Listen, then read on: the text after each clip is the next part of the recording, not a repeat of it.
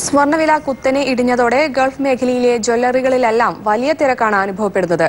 മൂന്ന് വർഷത്തിനുള്ളിലെ ഏറ്റവും കുറഞ്ഞ നിരക്കാണ് ഇപ്പോൾ സ്വർണത്തിന്. രാജ്യാന്തര വിപണിയിലെ സ്വർണവില മൂന്ന് വർഷത്തെ ഏറ്റവും താഴ്ന്ന നിലയിൽ എത്തിയതിനെ തുടർന്നാണ് ആഭ്യന്തര വിപണിയിലും വിലയിടിഞ്ഞത്.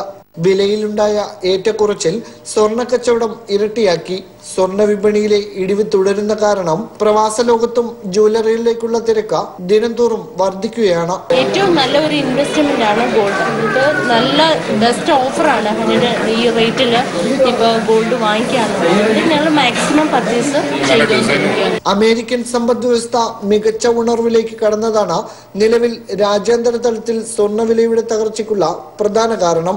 കറൻസികൾക്കെതിരെ ഡോളറിന്റെ മൂല്യം കുതിച്ചുയരുന്നതും സ്വർണവിലയുടെ തകർച്ചയ്ക്ക് കാരണമായി വിദഗ്ധർ വിലയിരുത്തുന്നു. Sameer Kalara Mathrubhumi news Abu Dhabi.